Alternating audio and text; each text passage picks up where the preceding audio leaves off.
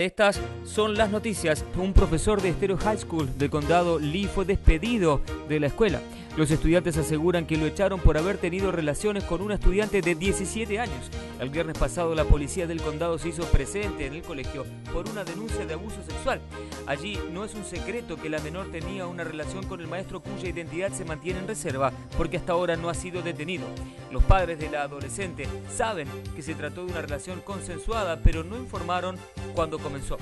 El comisionado del condado Sarasota arrestó a un adolescente de 13 años de Englewood con cargos de intento de asesinato en primer grado luego de atacar a una persona mientras corría por Lemon Avenue.